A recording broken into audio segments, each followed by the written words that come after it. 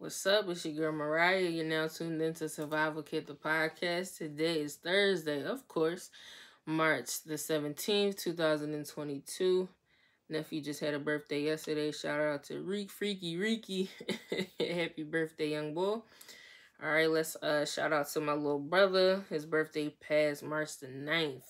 I'm saying shout out to all the shout out to all the Pisces out there. I don't I don't really do the astrology thing. I try to stay away from it. Um I blame my mama. She always like, ah, you can't use astrology to and horoscope to describe how you are. You are who you are.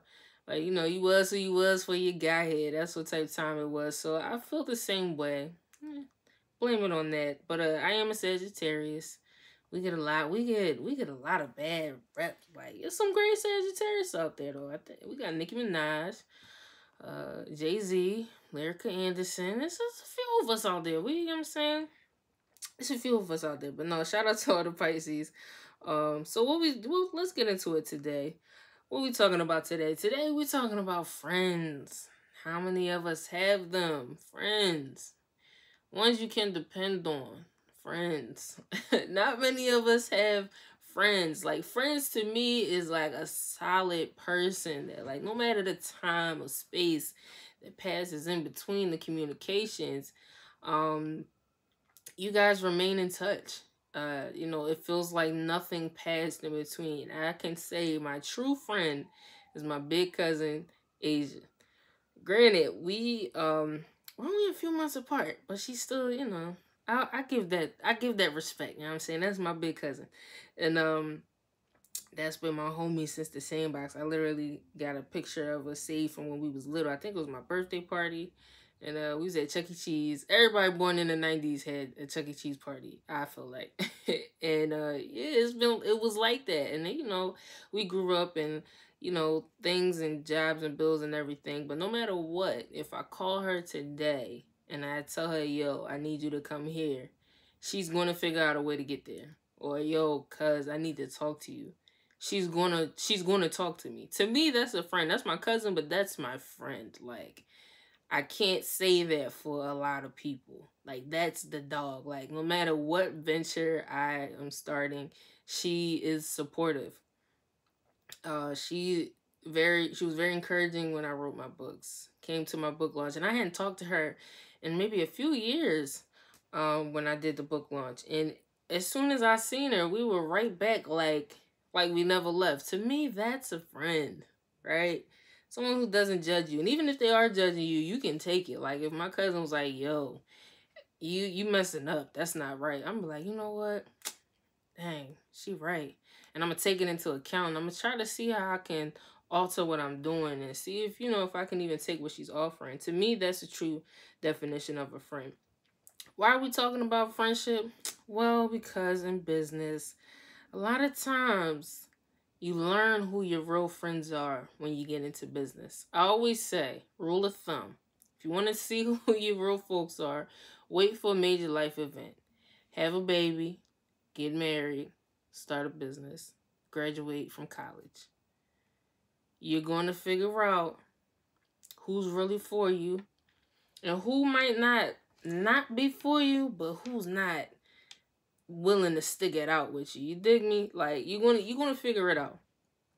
Quote of the day. Y'all know I love I love quotes. I love me a good quote. I hope y'all I hope y'all like my quotes. I think I I pick really good quotes. quote of the day. My man's Grant Cardone. People that want to be you will hate you for the things they wanted to quit on. People that want to be you will hate you for the things they wanted to quit on. Let that marinate. Let you feel that.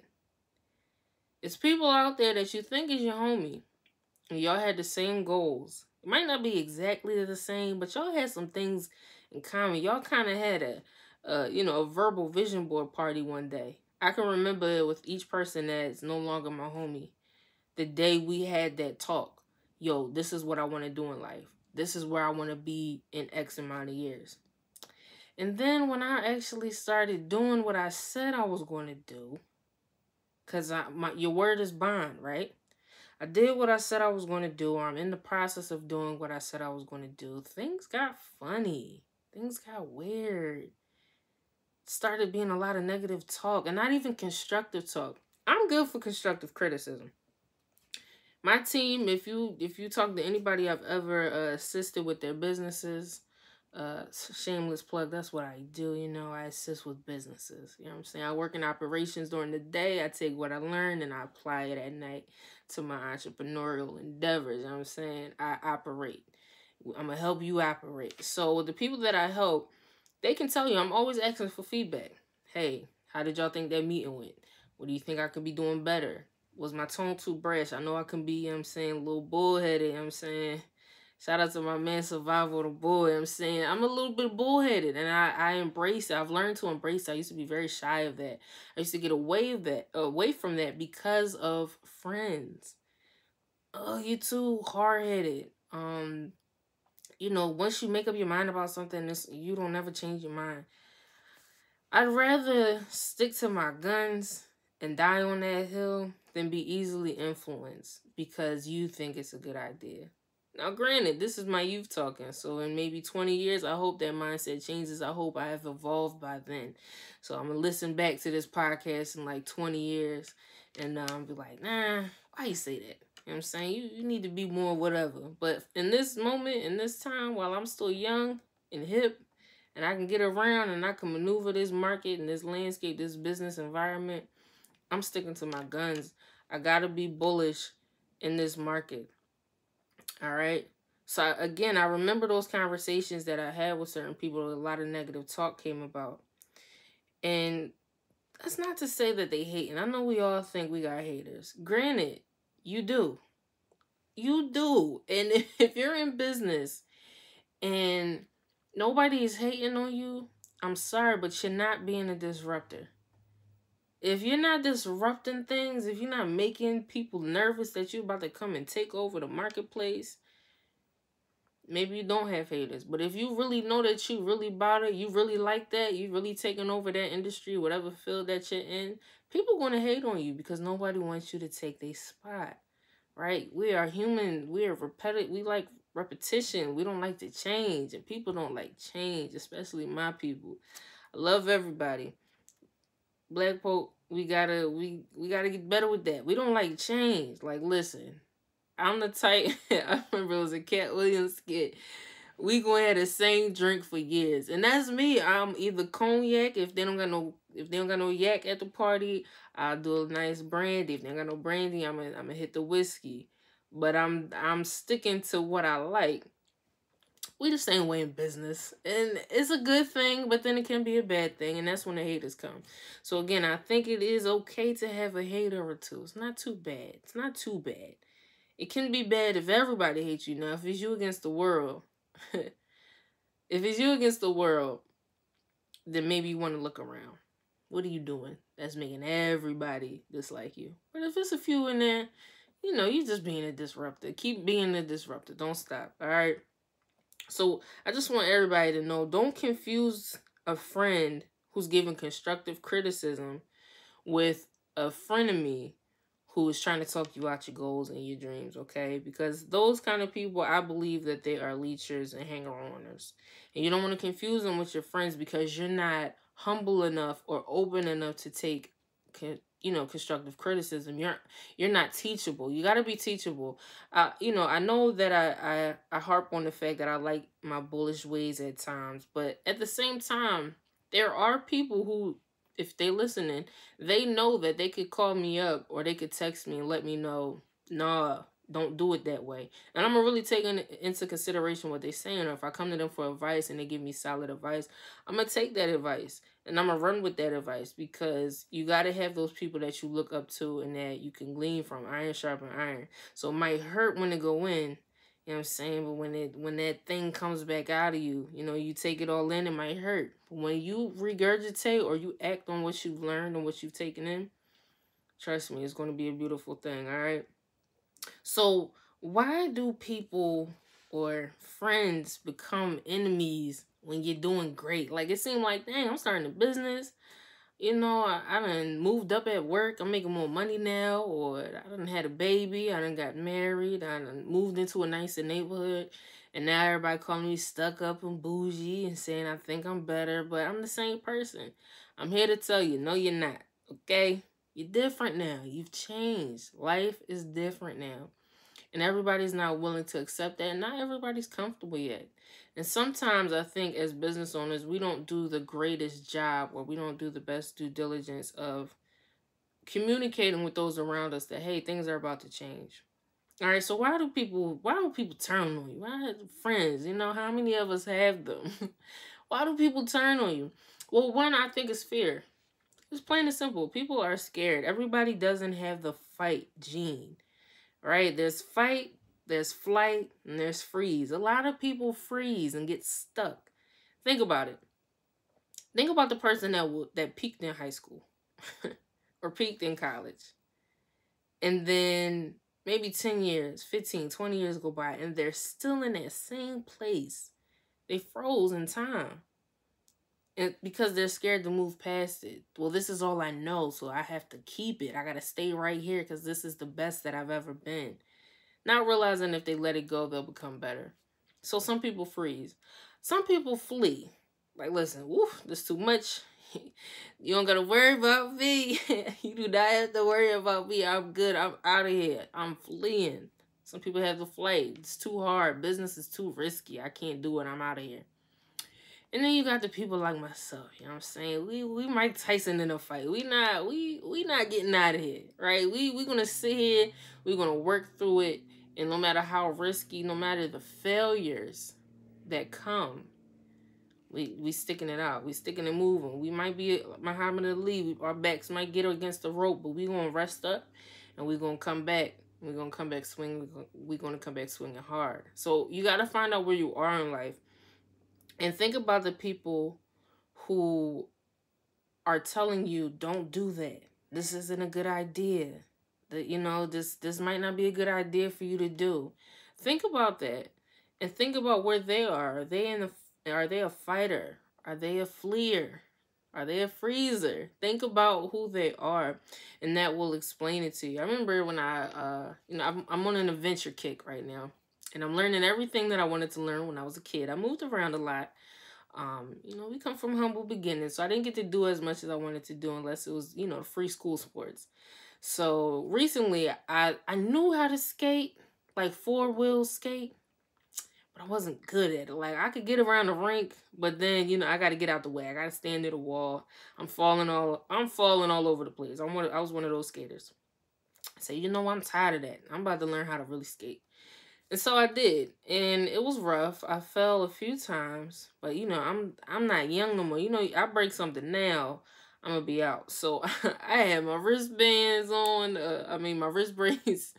Uh, I didn't do the elbow brace. I'm like, man, I'm cool. Even though I should have, because I broke my elbow before when I was younger, so maybe I should have did that. But I've never landed on the elbow, so I'm good. I had my knee pads on, I had my ankle brace on. You know, I'm braced up. I didn't. I played sports. I had a lot of injuries, so I'm braced up. And people kept telling me, "Yo, you gonna fall, man? You gonna hurt yourself? Don't do it. Don't do." It. I'm like, dang, I just want to learn how to skate. like, why are y'all so scared? We just skated. Everybody was scared for me. I wasn't even scared. I started to become scared because everybody said the same thing. Yo, man, you gonna fall, man. You gonna hurt yourself. Yo, you gonna hurt yourself. Needless to say, I did end up hurting myself. I did. I was, cause I was, I remember it too. I was going and I was, I got nervous. I'm like, yo, I was trying different moves and stuff. I learned how to skate backwards and everything. So I'm going to the skating rink practicing. You know, they tell you if you can't skate backwards, get off the floor. I'm on the floor because I can skate backwards now. one day I'm doing a little self practice. Tore myself uh, ankle was out of commission. I'm back now.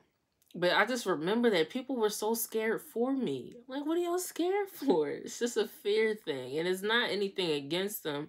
They just can't see what you can see. So you got to make sure you don't let that creep into you, right? Now, again, that was a not a silly example because my ankle was tore up, but that was just a small example. For you, it might be much bigger. It might be a big life changing event, and people are speaking fear into your life.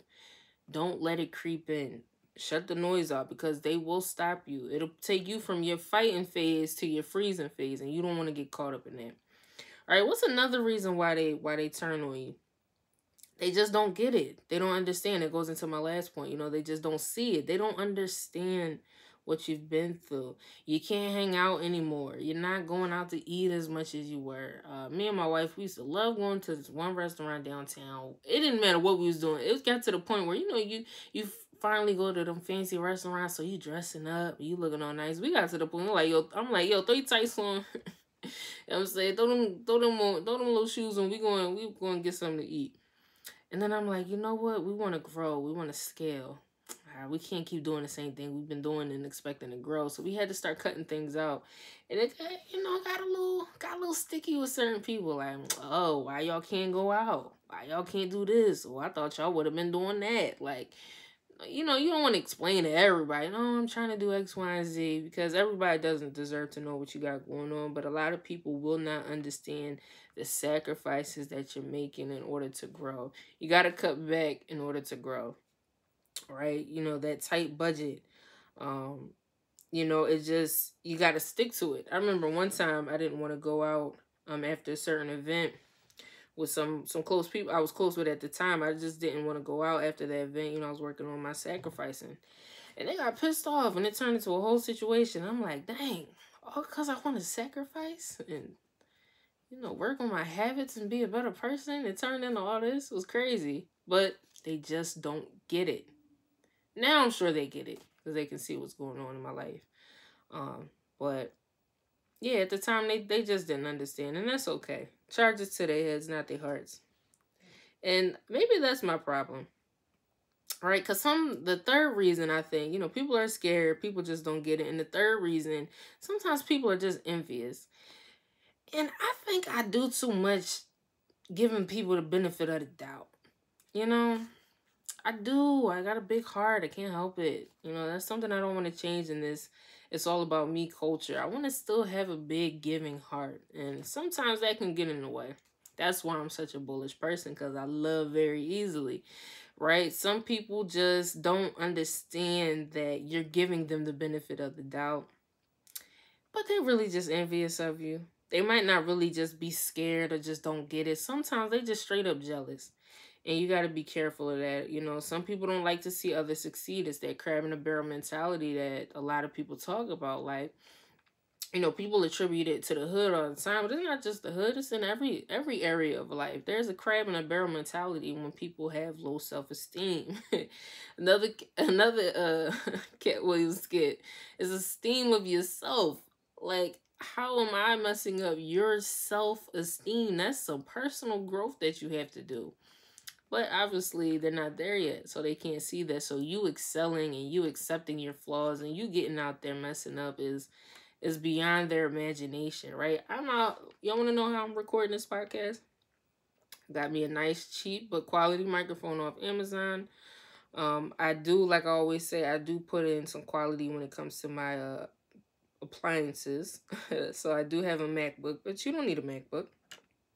You just need any good laptop that can record right? And I have a, a camera, but sometimes I record on my iPhone. They both the both the pictures are pretty clear. One day, God willing, I got a studio and I don't have to worry about setup. I can pay another team to do it. But for now, I got my light set up and my, my phone sometimes or my camera other times, my microphone, laptop. I'm rocking out. Right? That's all it is. That's all it is. It's very, very simple to do. But some people see that and they don't understand the background of it and they don't like the fact that you're doing it. And I know people who have way better equipment than I do and they're not doing it. I don't know why they're not doing it. I think they should do it. Um, but maybe it's the it's the flight or the freeze mentality. They don't know if they can. Or they're scared to do it with what little they have. It's like I said, I just have basic things, but I'm willing to embarrass myself and when I say embarrass myself, I'm not saying, you know, cringe embarrassment. I'm just saying I'm willing to fail. I'm willing because I'm willing to learn. I love to learn. And when you're trying to learn, you have to ask questions. And when you're asking questions, it's because you don't know. So you're going to mess up. And it's okay. But those are the three reasons why I think people turn on you in business. I think some people are just scared and they don't understand what's going on. Number two, they don't understand. And then number three, some people are just straight up jealous. And there's nothing you can do about a jealous hearted person. You have to just, I say, love them from afar. Everybody doesn't believe in that, but I do. I think you should just love certain people from afar, let them be who they are, and they'll come around. Or they won't. Either way, they'll be fine. So, what do I do? What's my top three things? I like to give you guys something. I don't like to just say what's wrong or what's going on. I want to give you some some tips. I'm saying it to put into your hustler kit, right? Vet people you have to have discernment that goes into the envious, jealous folks. You got to be able to discern that. You got to understand, oh, this person is jealous. This person doesn't want to see me win, right? This person feels some type of way because I'm doing good in life. You got to be able to vet that kind of person and really sit down and think about it. I pray. Everybody doesn't believe in prayer. I think you should at least try to pray or meditate. Um, you know, business can be rough. You're going to need it just how I feel. Right? So I pray, you know, Lord, show me um, who this person is, if I should be around this person. Be careful praying for for people to uh, to get out your life if they're bad for you, because you'll be surprised who starts leaving. Interesting, right? Happened to me before. To this day, I'm shocked, shocked and appalled. Like God, for real, that was my dog. Eh, things happen, right? So vet people, have discernment. You, you you know, be careful of the people who say, I'm going to stick around you because I know you're going to be great one day. That person is a leecher. They're a hanger-oner.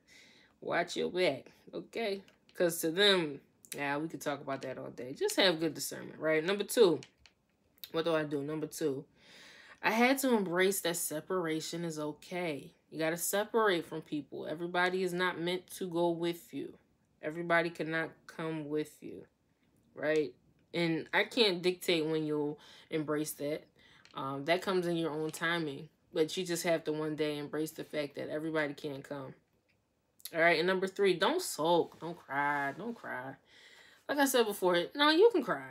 You can let a tear out when people leave. Because it hurts. Uh, you know, I'm human. I get it. It hurts when people leave. Uh, but I would say use that as an opportunity to throw yourself into the madness of whatever you're starting right? So if you're, you know, you're starting a family, people start hating on you, man, forget them. Work on cultivating and growing that family. People hating on you because you're starting a business, man. Whoever's coming, come on. Whoever's leaving, wish you well. Right? And begin to cultivate and grow that business and worry about scaling and what your exit strategy is and getting your business plan together. It's a lot that goes into growing a business. So, you know, you're not going to have time to be worrying about people much anyway, right? It's all about what you want out of life. Do you want to sit and harp on the fact that you're losing people and that separation is occurring, or do you want to grow? I say let's grow. All right, so again, the quote of the day people that want to be you will hate you for the things they wanted and quit on. People that want to be you will hate you for the things that they wanted and quit on. Don't forget I told you here first. All right, it's your girl Moriah. You're tuned into Survival Kit the Podcast. Thank you so much for listening. Again, the word to the wise, don't worry about people who are leaving you because you are doing better in life and you're figuring out your your way, you're going through your journey. It's okay. Everybody can't come on your journey. That's why it's your journey. All right, I'll kick it with y'all next week. Same time, same place, every Thursday, 6 p.m. Coming to you. All right, and check out our YouTube it's under my name, Moriah Anderson. Uh, every Thursday, between Thursday and Friday, I'll be posting the episode. I'm gonna, I'm gonna, I'm speaking into existence. I'm gonna get me a, a video editor. I know how to do video editing uh, because of college courses I took and some, some things I had to do, some projects I worked on in the past. But it's time consuming and tedious, and I don't like to do it. So I'm praying that I can pay a team one day. I have a studio, I have a team, and then y'all gonna look back on this episode like, yo, she said it, right? Again, it's your girl Moriah. Thanks so much for listening. Catch y'all next week, all right?